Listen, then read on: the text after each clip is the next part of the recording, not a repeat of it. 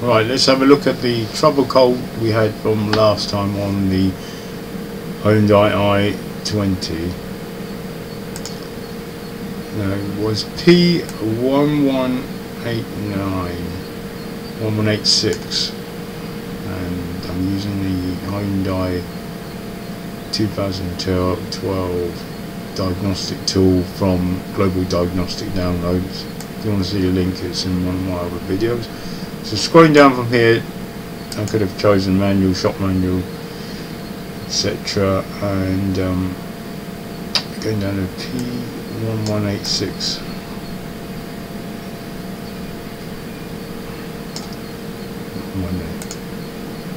You can see it's really talking about fuel pressure and the fault was in my car it was just dying on me the, the injector was just shutting down and I ran my um, diagnostic tool the DS708 check the other video uh, to see to try and fix it and it ran from some through some tests and my car has been running 99% of the time okay but 1% of the time as I'm accelerating it's still kind of cutting out a little bit. So obviously that's uh, what you call an intermittent fault that kind of thing can crash your car or it won't get ever get any better you can kind of, I can kind of patch it up a bit but that's why I've decided to change the uh, fault and I looked up this trouble code P1186 it says fuel pressure I can't really see the end of it. Won't, be any bigger. But general information. So thing there, it, does that's fuel pressure regulation valve, regulating valve, regulator valve. So fuel pressure monitoring, minimum pressure at engine speed too low. So if I if it was P1185 maximum pressure, too high pressure, same same spot, um, just, just notice the picture hasn't changed. So too too low, too high is going to be the same thing. It's this this valve here that actuates. So the computer kind of moves something in. I'm sure there's a coil and it moves up and down to regulate the amount of fuel going into the rails. I think it's similar to um, what you'll get in a uh, refrigeration unit where you've got high pressure and low pressure and uh, the refrigeration the liquid as it's as it as it absorbs the warm air passes through what you call a choke valve. I think it is a choke valve. And that takes it takes the choke valve chokes it to low pressure. So it turns it into a gas. So likewise here if you pass something at high pressure just after the um, pump the pump is just here where the engine is the fuel pump at high pressure you can if you move an actuator up and down you're just varying what you call the diameter of the um, liquid passing through a tube right? And that would either increase the pressure or decrease the pressure. So if you had a larger hole diameter you would actually increase the pressure because it's straight from the pump. So actually if you decrease the diameter of the hole so it's kind of counterintuitive you actually you should in theory decrease the pressure. Because less kind of liquid or less easily getting through that hole. Um, that's what I remember anyway from my years of engineering. Someone tell me if I'm wrong. Could be uh, wrong. It's many years ago. Uh, so as input rail pressure signal ECM common rail diesel controls fuel pressure reg regulator valve will main, maintain optimum rail pressure. See if it matches what. However, problem that leads to rail pressure out of target tended by ECMs and computer occurs due to mechanical or electrical reason. So mechanical means this thing could be jamming. Electrical could have a short. ECM shuts down engine, sets trouble code by limiting fuel, stops injector operations in order to prevent engine from being controlled abnormally. Fuel pressure monitor is trouble code, which diagnoses supplying a state of low pressure fuel and two mechanical operation high pressure pump. Alright, okay. Mine is not a U2, it's a U1, so it's a lower class diesel engine. It's set well, rail pressure is lower than target, right, so it's lower, so we know lower for more than one second in condition that rail passes, that is press, pressure. It's colder is due to less less intended uh, fuel supply to common rail or excessive return of fuel supply to common rail. Short to lower I don't think it's that I think because it's the only thing that's moving here. Most likely it's that that's that's uh, the actual actuator or regulating thing that moves up and down that's a problem.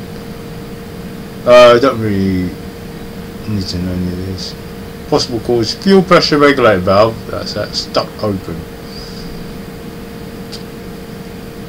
Okay. Fuel sensor output fixed at high but so this sensor just here I'm saying that could be faulty. So it could be one or two. I'm gambling I spent 78 pounds gambling it's uh, that one. There. after repair it's essential that the fault is corrected after diagnostic select trouble code clear trouble codes drive the vehicle with enable conditions, download trouble in general information. After selecting diagnostic trouble code mode, check it's recorded again. So it only happened once, didn't it? That was enough for me to try and change it, knowing me. Warm engine up to normal operation, turn off electrical devices and aircon. I think this is where you kind of just check electronically. So this is a pressure sensor just here on this end. This is deleted on my one. I think it's the higher engine one that's got a sensor regulator valve here. Mine is down here. Normal, normal. So this is low pressure pump, high pressure pump, low pressure pump and high pressure pump. So there's also your fuel sender at the fuel tank. Sometimes I guess maybe they may not be um, may not be. In some cars, I'm informed there is no fuel sender there. It's a bit like this. The pump, the pump just sucks it up. So there's some sort of return, fuel return, and uh, input fuels, low pressure pump, high pressure pump. This is the regulating thing. This valve regulates between low pressure and high pressure. Obviously, here when it's injecting, it's high pressure. Right, so let's have a look at uh, replacement. 2009 is this one? Uh, fuel.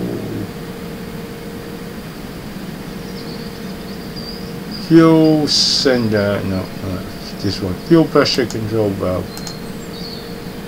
Turn the ignition switch off. Disconnect the fuel pressure regulator valve connector. Take off the electrical thing then. Measure resistance between terminal 1 oh we did that didn't we? Um, actually I think I'll measure resistance before I put the new one. I'm trying to find somewhere where it says fuel, fuel, fuel injector, HI injector Right. Let's see what it says so operates at 1600 bar. Oh my god! So never born with engine running or within 30 seconds. So it says here, so it's safe 30 seconds after the engine stops. And why would that be? Right, that would be because any fuel that is pressurized can go back. Remember on that other diagrams, return to there's a pipe that returns fuel to the um, to the tank I think. So any excess will just return to the tank. So we know we turn it off 30 seconds. That's what really what I was looking for. Keep cleanly the parts so we need to keep it clean pay attention to foreign substance mm, dirt again just before installation insert tube hose remove the protector cap attached to them They're saying remove the protector cap just before you put something new on, like I'm going to do. do not remove the injector except for a special case. When installation, when installing it, wash the container the injector, plate, replace O-ring to protect damage caused by shock. Vertically insert the injector. Careful, basically. When installing the high pressure fuel pump, don't use again a high pressure fuel pipe. Install the flange nut correctly. So we're just talking about injectors here, so I was just trying to get an idea. Right, okay. And uh, what I did is I went on eBay and I bought this thing here. This, uh, this is the thing upside down. And I've got a plastic cap over it. This thing is upside down. Uh, and the if you look at the, the, the writing is on the side of this, you can't really see it's a bad picture. But the only thing I on my original one on the car it says 0928 400 750. It's the only thing I had to go by, and it's Bosch. I did. I was guessing it was a Bosch. I didn't even know it was a Bosch. So on Google search, I on uh, Amazon is where I bought it from this time. I just typed in uh, Bosch, this number, and this came out on my. The where where I got this number from was on the car. On the car, there is a um, the same number on top and then a whole load of other numbers underneath. But I um, this thing hasn't got those numbers in there. I just went straight by the number on top. So it's a bit of a gamble. We should see if it doesn't work. You know why.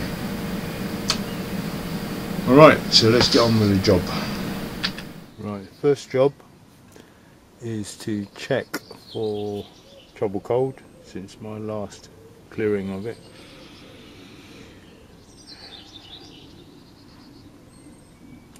Okay. Reading engine codes.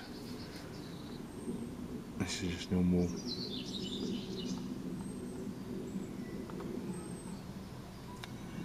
And it always says EGR VVT inconclusive. Read codes. No codes found. No mixture codes. Right carry on. First thing to remember, clean your air down. Brake cleaner.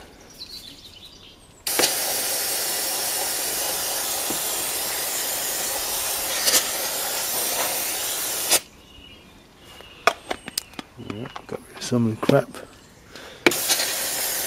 Mm. Okay, next thing, unplug should click.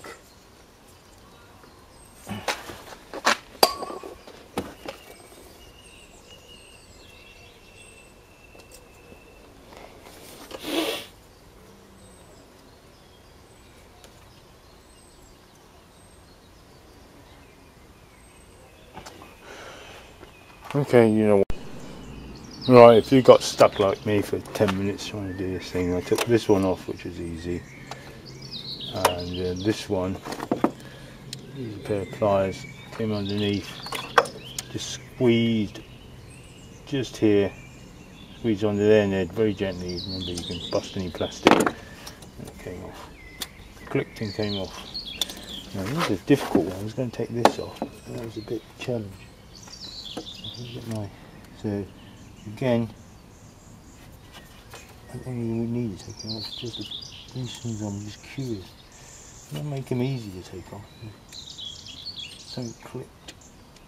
Nope. I hate these damn things. Oh, I give up. Leave that one. Right, okay, that's off. And I'm thinking, oh, is it going to fall out? No, it's not. Pretty on, on pretty tight. Right, me take this, this actuator thing off so I can get access to it. I remember taking this off before. And there are three, yep. One, two. Barely get that one only. One, two, three. This thing rod moves up and down and actuates the variable kind of valve thing inside the uh, inside the bit the uh, intake manifold. It's like a variable vane thing. I could take it off as it is actually. No, just leave it. Right. So I've got specs. That thing shoot, shoots out at me. That, that sort of pressure go for your skin, kill you. Go for your eyes, definitely blind you. So I can get to everything here. Just eyeing it up. Still eyeing this thing up. I know this thing moves. And I've taken this thing off before. I'm just thinking, is it worth it? Right, so three screws.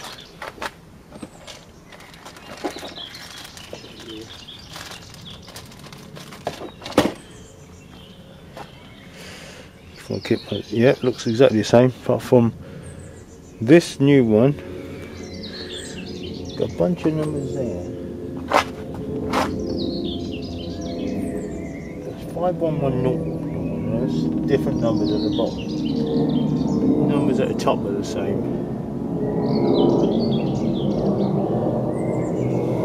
So it's a brisk. And here's my cap. Keep it clean.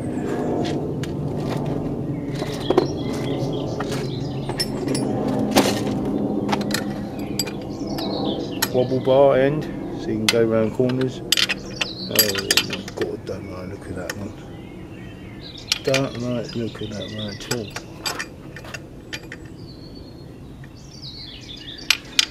Damn it. Right. This has got to come off. That, that. That one, that one. This one comes off here, here. Yeah, I'm, I've got all my tools with me. Let's, let's take these off and see if it loosens up. Right. Took that one off. Uh, that one. That one down here. That one off. Took that one off. Took that one off. Moves it to this, moves this over now. Now I can get access to that one down there. So there's one more down there. I didn't bother that because I couldn't find a tool. Well, I've got the pit down there, one pit. I need a, well, I have to go upstairs and get one, can't be bothered. Right, so once I get that one off, I know this is kind of flip over. I know that. I'm, I don't really want to risk taking that off because I've got the tools to fix it, get it if I, if I lose it. Right, so end up getting one of these, very lazy. One of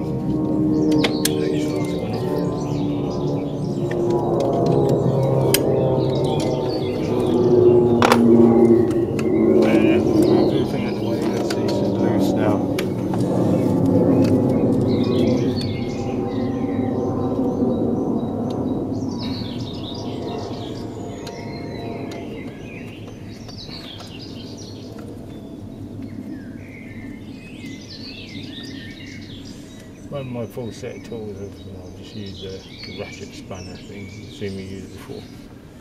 Okay.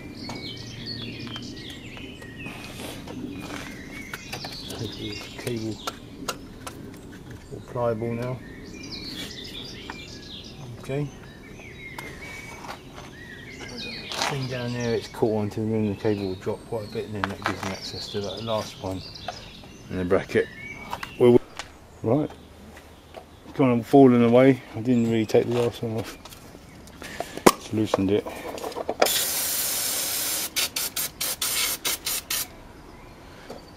Bring it down again. I can see all of them. The engine's been off for a while. That one on that side, that's going to be a bummer, isn't it? Unless I take the fuel pipe off first. I could be stranded here, I'll be in the middle of nowhere. I better get the work if this doesn't work. I'm even them. How do you prime in the old cars used to have a little pump prime your fuel. And these ones I have no clue. Just hoping switch the engine on. Notice where I got the Bosch idea from, there's the word Bosch down there. Really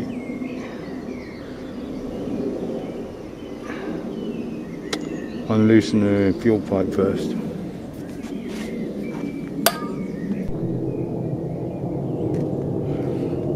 Crow's foot 14, wobble bar. Can't get it. I was trying to use that, but it didn't fit. So engine off. Hope for the best.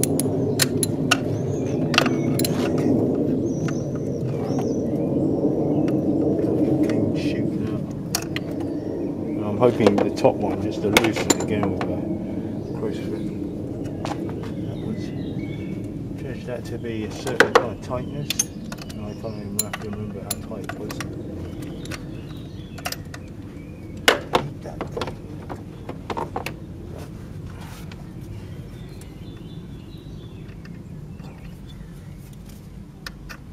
don't fall right off.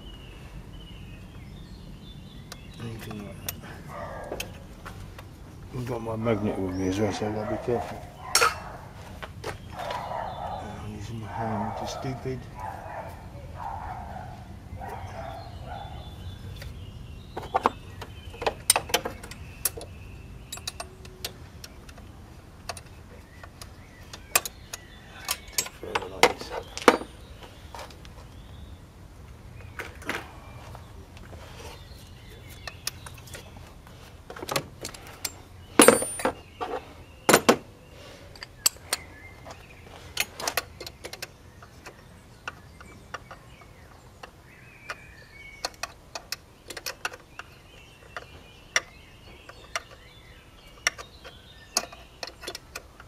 So I reckon there's going to be a lot of threads in there. So obviously when I do the threads, it's going to loosen the top one.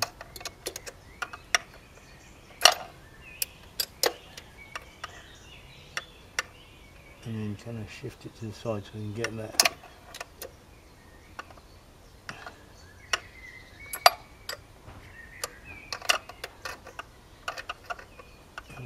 nice little Torx screw.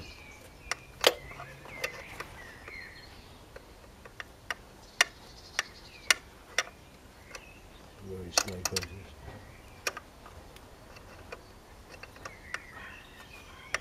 Still got a bit apprehensive it might start shooting out. Maybe a steel one, never done one of these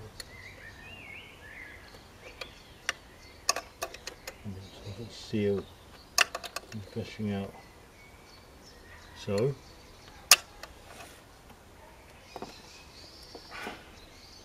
And do that so that shifts and do that one. I'm just going to spin it over probably. Right let's do that then. Right.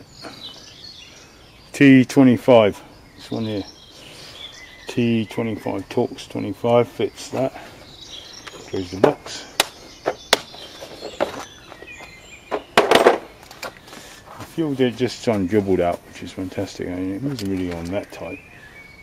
And I just shimmered it over and it all kind of fitted. That was on quite tight. I wish I had really done it the wrong way around. Always do the hardest one to reach first, which is this one. Oh my god. Please reach. Got quite skinny end here.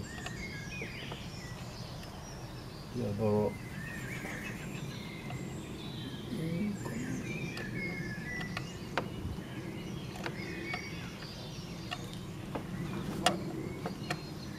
So close.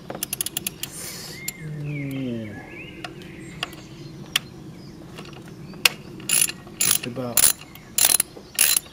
I'll see the height on the roof first. Work it around it. So.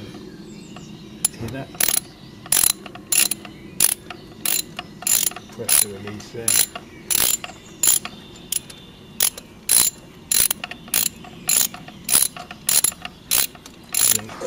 Hear it gushing away. I don't think there's an option. I bought my big scan tool. Think there's an option with saying we're renewing this. well.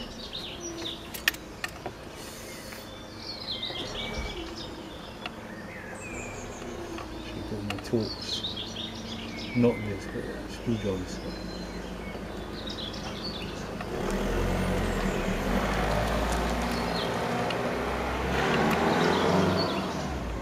Okay, you know what I mean. Get them off. Pop up.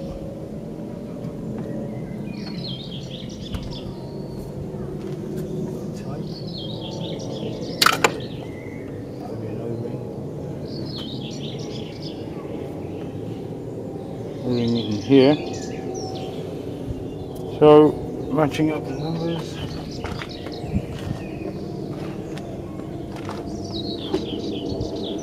Top number's the same, bottom number nothing like each other. No clue. 51100, 51920. Alright, looks exactly the same, doesn't it? It's got an O-ring in there, built in. So, you're stupid like me, you do things like me.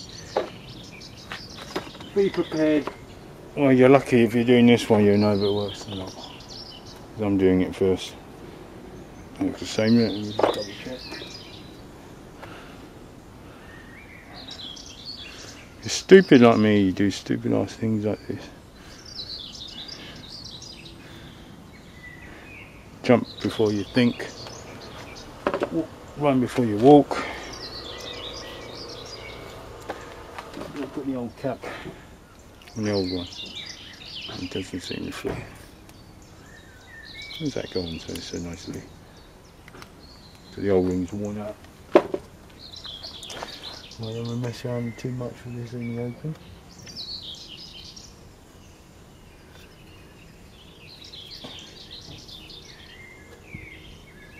Alright.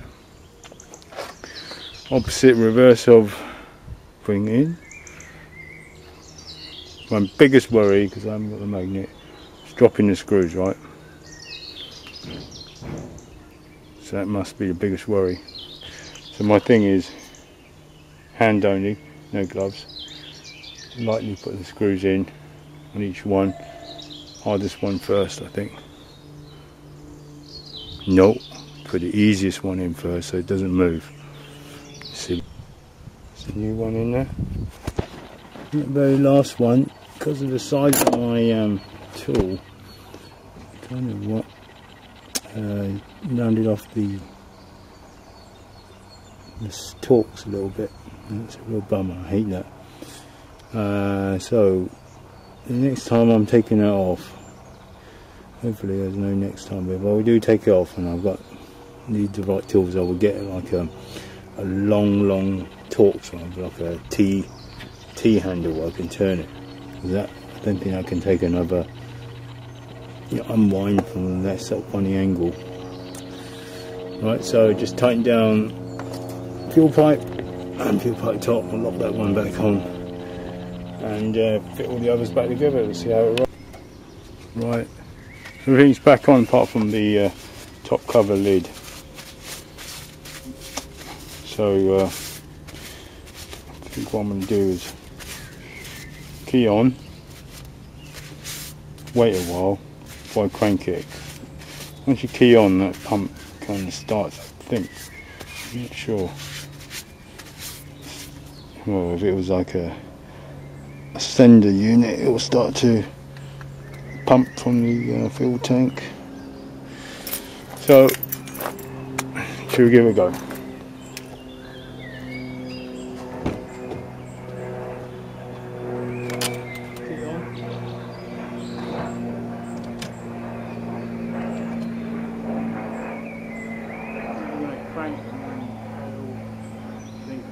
Crank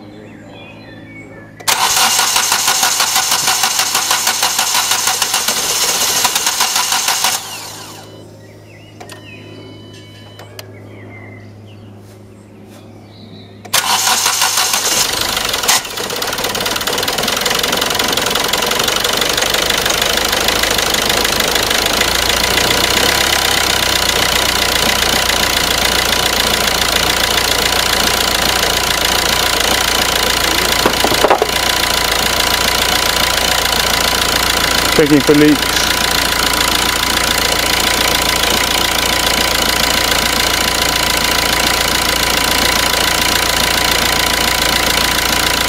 Really? Oh shit. Did you look at that? See that? Gotta do that. Let's turn it into that.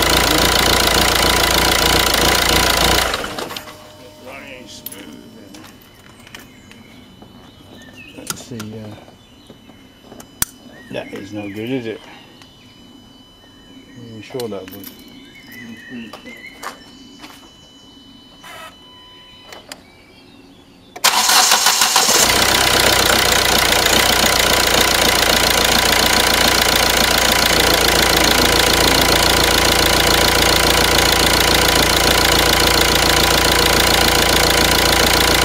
I'm not sure what that was. It was sounding funny, wasn't it?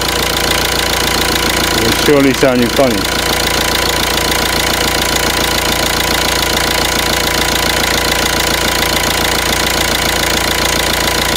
what that is at all. Wasn't that? Wasn't the uh, lambda sensor? Is there an oxygen sensor down there maybe? Wasn't an oxygen sensor.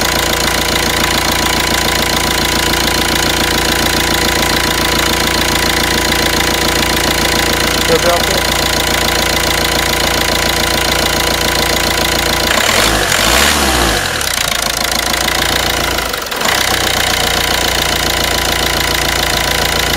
Yeah, it stalled. Suddenly stalled, didn't it?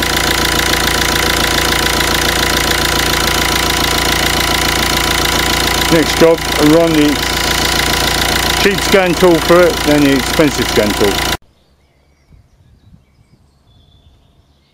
Over here in arrow code. So I just ran the um, DS708 Pro using my old version 7 on this. No faults so far. So I'll press OK and some changes to things. Uh, ECU special functions. Uh, think it's this one. Component change routine.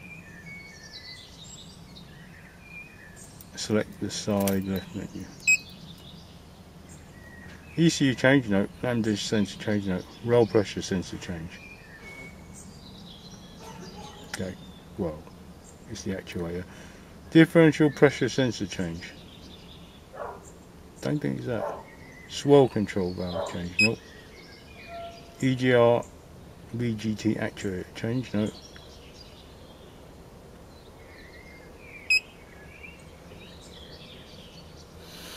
Wasn't a sensor, was it?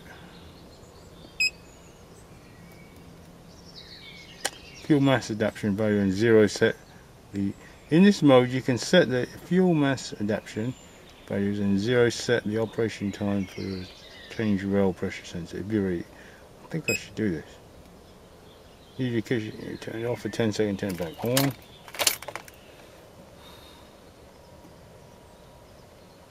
sorry if I've got the camera at an angle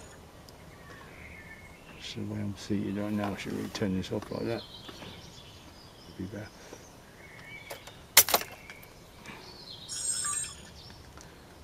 Turn it back on, the music's to come on, turn it off.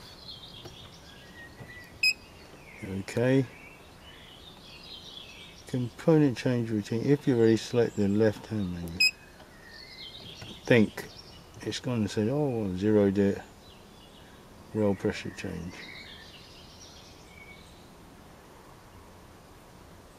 differential pressure sensor change. And there's the actual actuator. Let's just do that one as well.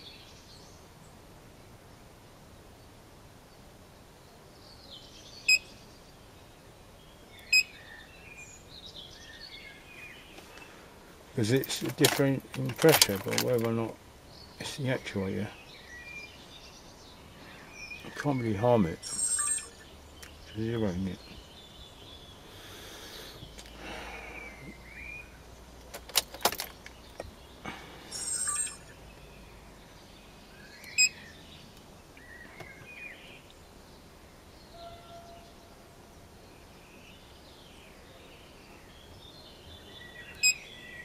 That's it. Didn't really do anything apart from that.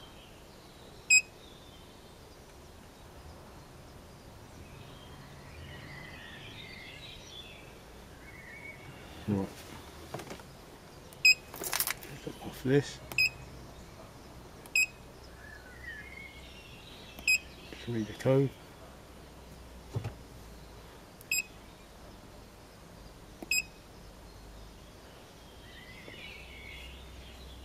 Cruise control main lamp, cruise control no. Oh, hmm. this is what I'm looking at. Pressure control valve. Conditions, ignition on off. Continue time until stop button. Pressure control valve success. Oh, I forgot to measure the resistance as well? Condition ignition on. So it just says pressure control valve success. It tested it.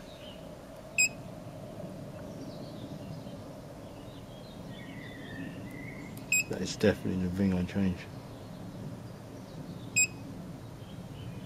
So it likes it. I'm chucking up an error. Crank it up.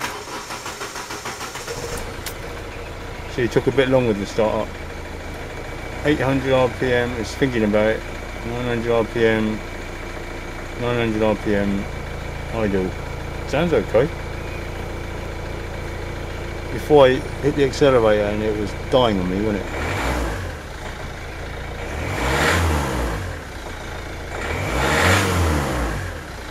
Didn't die. Oh no, I died slightly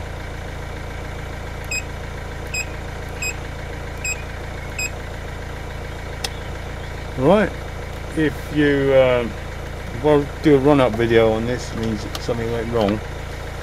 You never know. Uh, if you like what you see, and you think I've done a bit of a job for you, risk £78 for a necessary job, and it helps you out in deciding what's with your car, please hit that like and share, comment. I shall always try and get back to you. And if you can, when I advise you to, if you've got something for your car, and my car is nearly coming up eight years old, you want something sorted out for your car, always look up the latest information because your model, your spec will be different from mine, so bear that in mind. Thank you for watching.